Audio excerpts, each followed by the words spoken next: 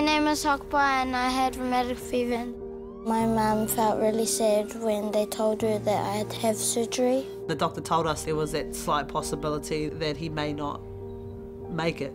You think back as a parent thinking, how did we get here? I remember that time that he did have a sore throat. I didn't think anything major of it. It's not cool to take the risk of, I'll see if it's okay tomorrow. As soon as your kid gets a sore throat, you need to get it checked.